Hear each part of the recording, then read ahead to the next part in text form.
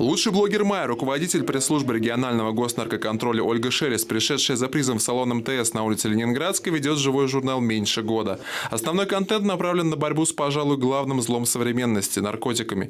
Ее пост об ушедшем из жизни два года назад руководителю ФСКН генерале Александре Синопальникове был признан в голосовании «Терра лучшим». Мы все помним Александра Владимировича, и 17 мая было два года со дня его трагической смерти.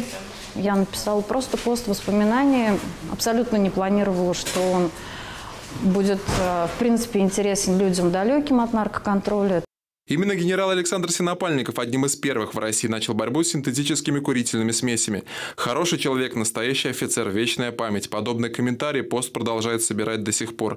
Планшетом, который блогер Майя получила в подарок от компании МТС, девушка собирается распорядиться по-своему. Я хочу подарить этот планшет ребенку-инвалиду. А, я уже связалась с общественной организацией «Дети-ангелы». Я хочу найти семью, где родители реально не могут позволить себе купить ребенку вот такую вот замечательную вещь. Представители компании МТС тоже решили присоединиться к доброму делу. В комплект гаджету оператор подарит ребенку бесплатный мобильный интернет. И совершенно неважно, где проживает будущий владелец планшета, в столице региона или отдаленной деревне. МТС обеспечивает высокоскоростной доступ в интернет более чем в 180 населенных пунктах региона.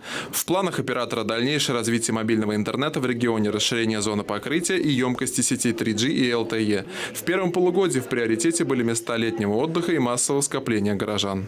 Традиционно летом увеличивается трафик а, в местах отдыха как горожан, так и жителей области. А, увеличивается он волнообразно, и мы провели перед началом летнего сезона а, специальную работу подготовительные. Мы увеличили емкость сети, дополнительно произошло строительство новых базовых станций, чтобы наши клиенты всегда не были на связи.